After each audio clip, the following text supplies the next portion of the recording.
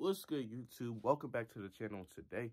You talking sports with MG Johnson. Today, we got the 2021 NFL Week 5 Power Rankings. So before we get into today's video, make sure you guys hit the like button if you enjoyed today's video. If you're new to the channel, make sure y'all hit that subscribe button. Man, we on the road to 1,000 subscribers. All support is appreciated.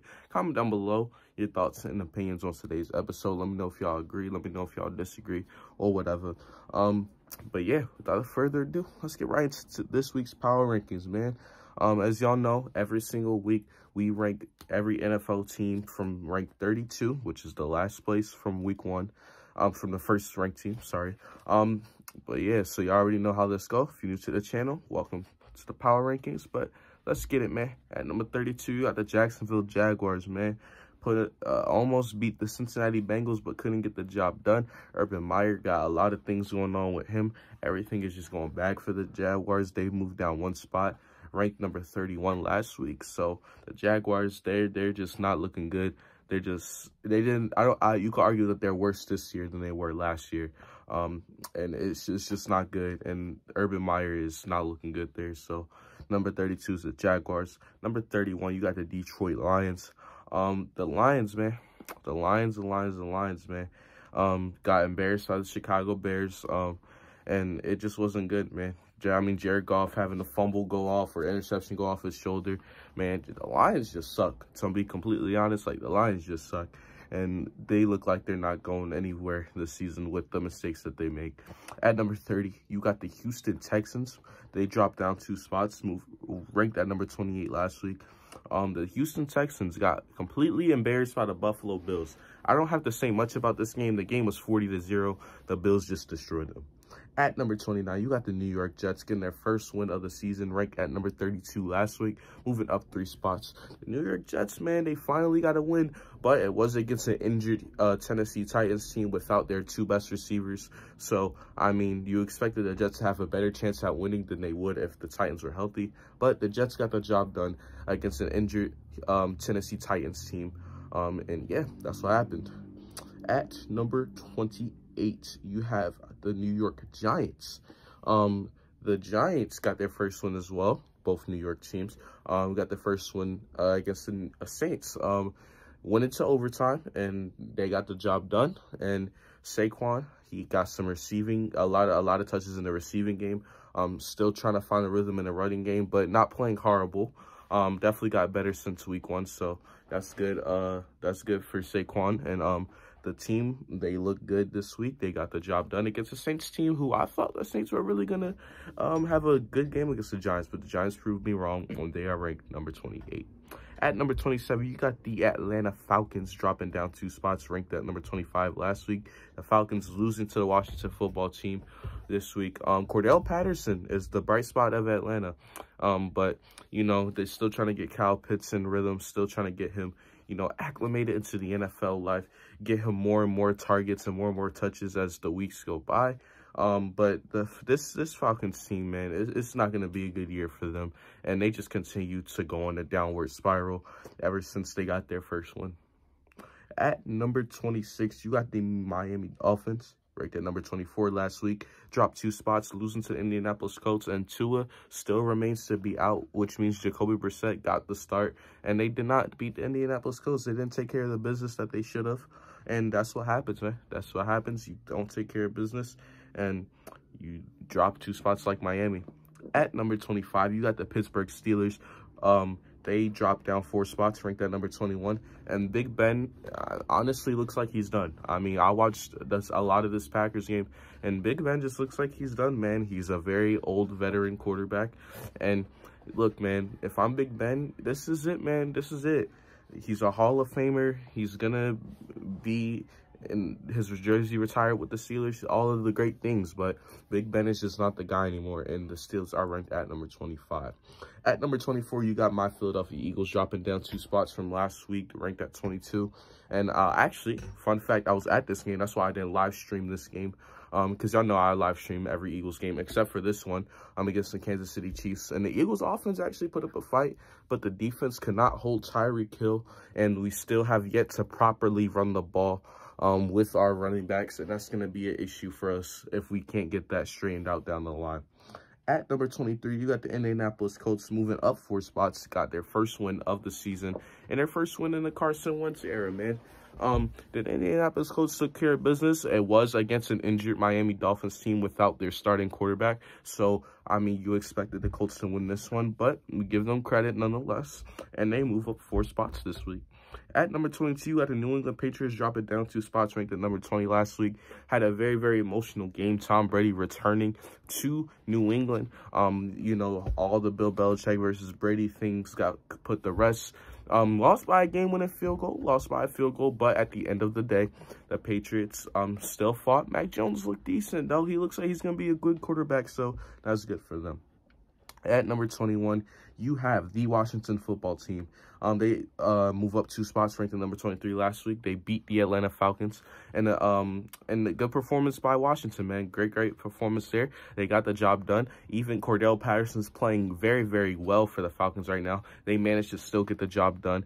Um, and that's great for the Falcons, man. I'm I'm sorry, not for the Falcons, for the football team who beat the Falcons. Um, but you know, Washington football team got second place in the division, so they sitting pretty right now in the NFC East. At number 20, you got the Minnesota Vikings. They dropped down one spot, lost 14 to 7 to the Cleveland Browns. Defense played pretty good, man. Held the Browns to under 20 points. Not not bad, but man, the Browns defense also had a good job against them. It slowed down their offense. Um, Dalvin Cook and all those guys over there with Kirk Cousins, Adam Thielen, and Justin Jefferson, all those guys there um, just couldn't get, couldn't, didn't have a successful day this past week against the Cleveland Browns, and they are going to drop down one spot, ranked at 19 last week. At number 19, you got the Chicago Bears moving up seven spots. They were ranked at 26 last week.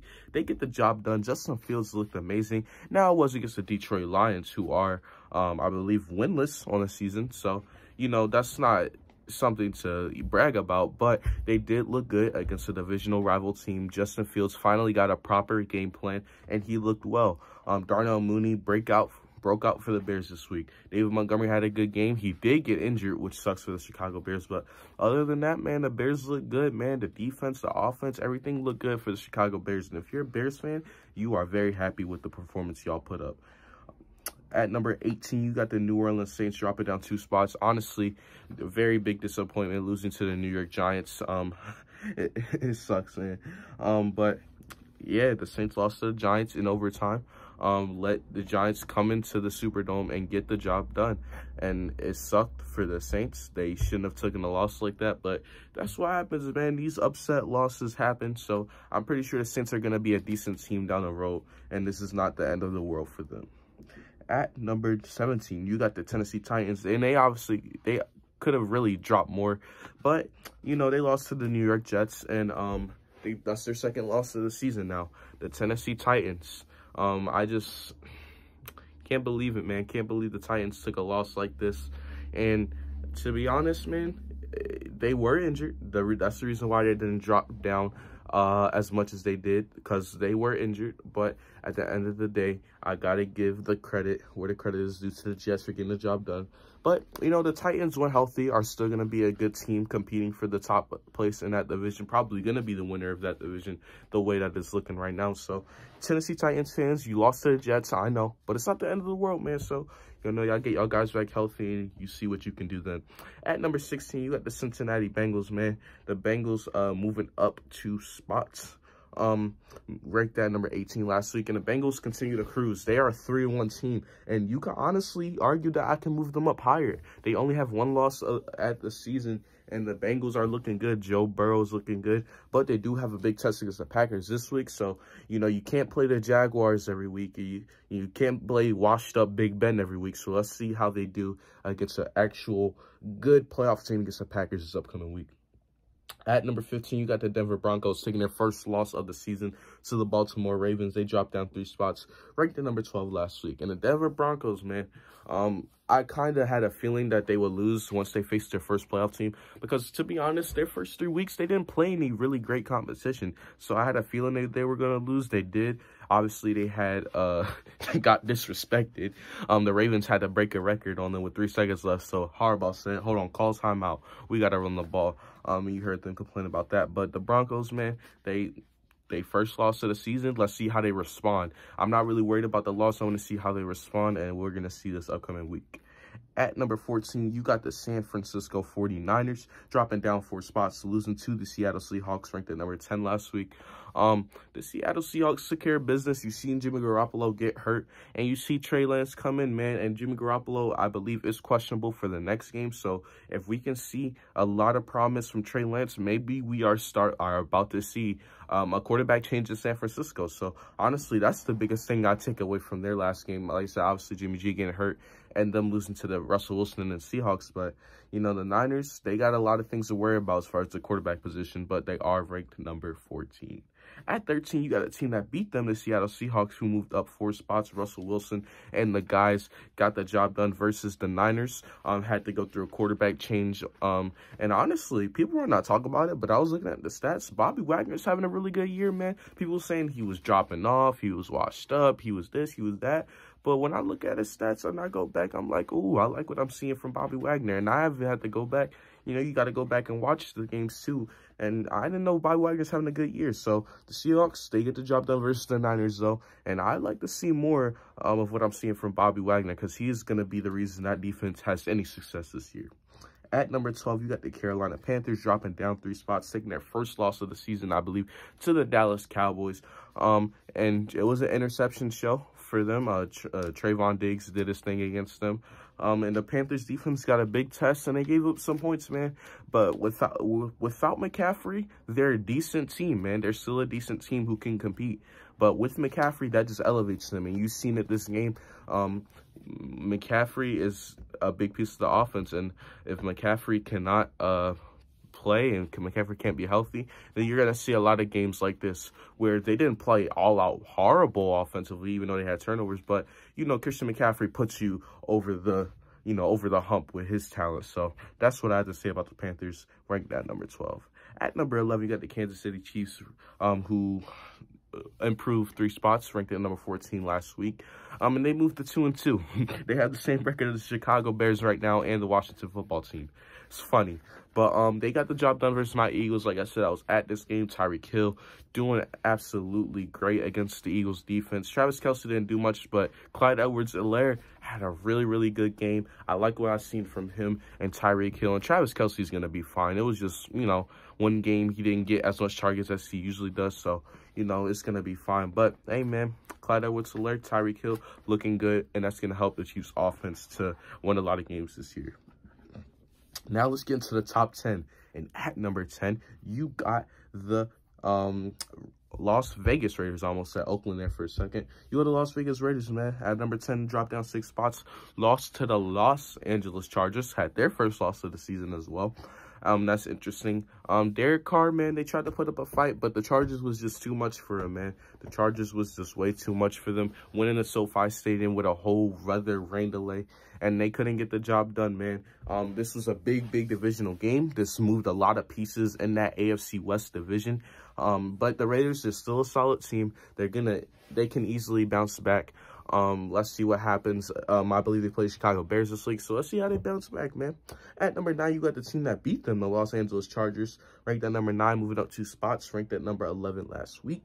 The Los Angeles Chargers, man, Herbert and the crew got the job done, man. And you've seen uh, good plays from Austin Ekeler. and Justin Herbert continues to just be a good, good young quarterback. And he's going to be a great quarterback for years to come, man. This dude has still, he still has things he can improve on. He still has a lot of more things he has to experience, and he's already lightened up um, some good teams. He beat, he gave the Raiders their first loss of the year after winning three straight. And it's just impressive what you've seen out of Herbert right now. I'm very, very proud of what he's doing. So if he keeps it up, along with Keenan Allen, Mike Williams, Austin Ekeler, and all the great weapons there, then the Chargers are going to be a playoff team this year, man. So I'm excited to see that.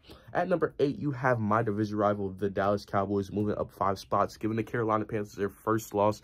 The Cowboys, they were ranked at 13 last week, move up to number eight, right into the top 10. And, you know, I can't lie that Dak Prescott and Ezekiel Elliott, they're playing great, man. They're playing great, man. Ezekiel Elliott, especially the last couple of weeks, he has came alive.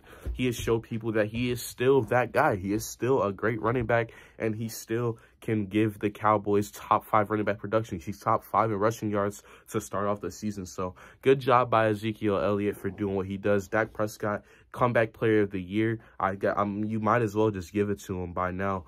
Um, but we're going to see what happens throughout the rest of the season. But the Cowboys are looking really good right now.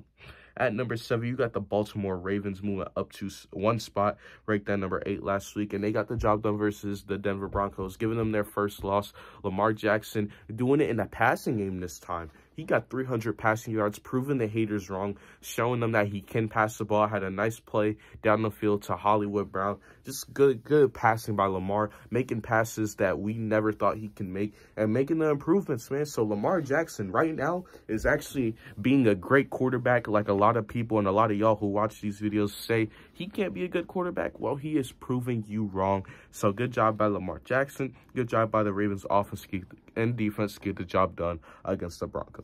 At number six, you got the Cleveland Browns who were up one spot. Another good week from the defense. They only gave up seven points. And I don't care how you give up those seven points. The fact that you gave up seven points is just insane.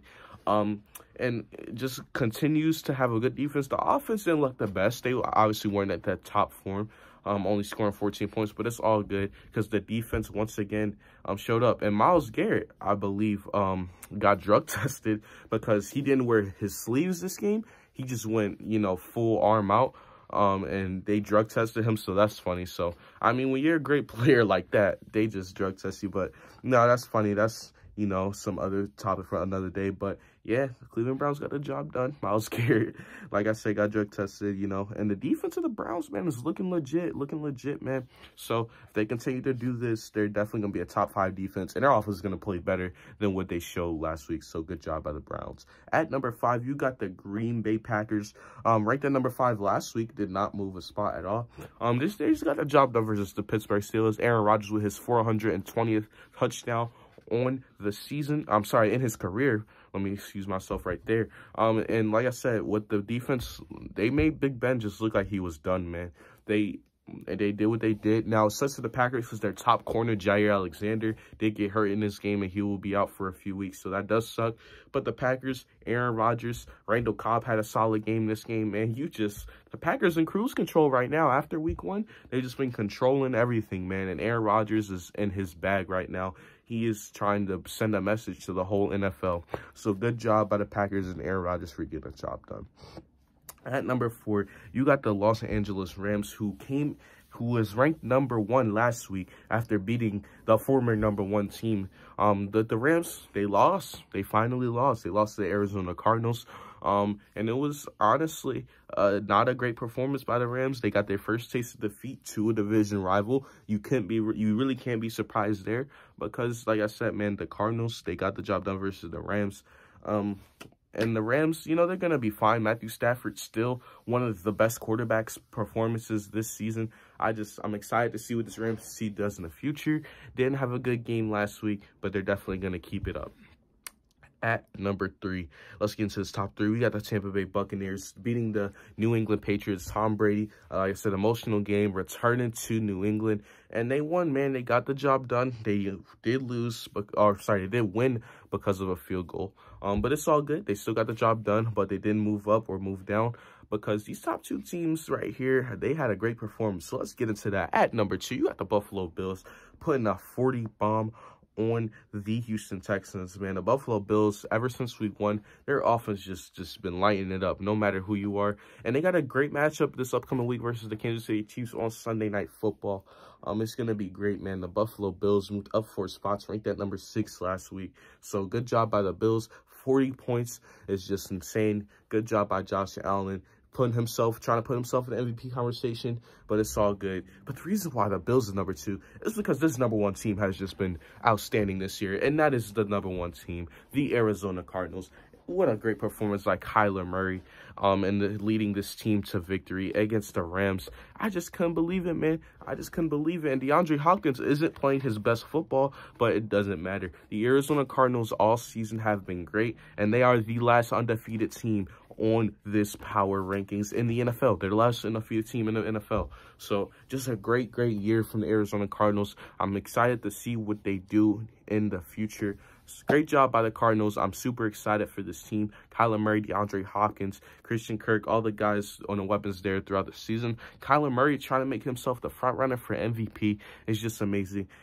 Ladies and gentlemen, that was your power rankings. Ranked every single team from 32 to number one. Hopefully you guys enjoyed the video. If you want more content, hit the like button. Comment down below what content you want. Comment down below anything. I read almost every comment. Subscribe to the channel if you are new. Ladies and gentlemen, until next time, you've been talking sports with MG Nas, and I'm out. Peace.